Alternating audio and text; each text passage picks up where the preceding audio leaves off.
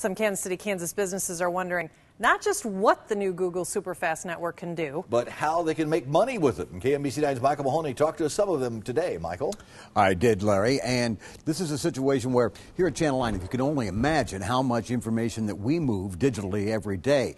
And this is the big thing about the Fiber City project in KCK from Google. This may be able to allow you to play a game faster or download a movie, but it is the potential of moving information, commercial information, so much faster. That's where the money might be.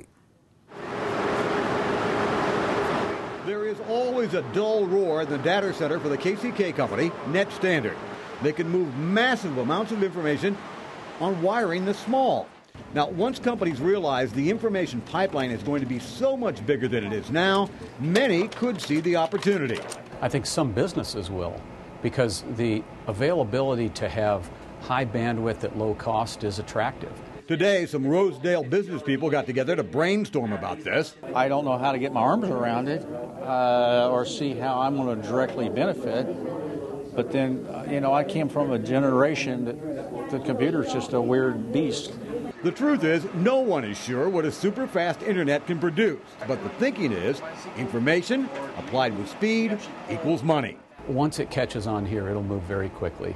One likely early application moving security camera records faster among police and businesses who may, for instance, be the target of thieves. Think of it as the difference between traveling on the freeway versus a country road. And one important thing that should be done, they say, make sure that City Hall welcomes the business of the 21st century. Not just business relocation, but the idea of trying to support local initiative by entrepreneurs, get them to grow and expand their businesses. So, really, here's the deal that Google is offering. We're going to give you the fastest internet possible, fastest in the world, and let's see what you can do to come up with ways to make money. And so they're going to test this theory that information and speed can equal dough.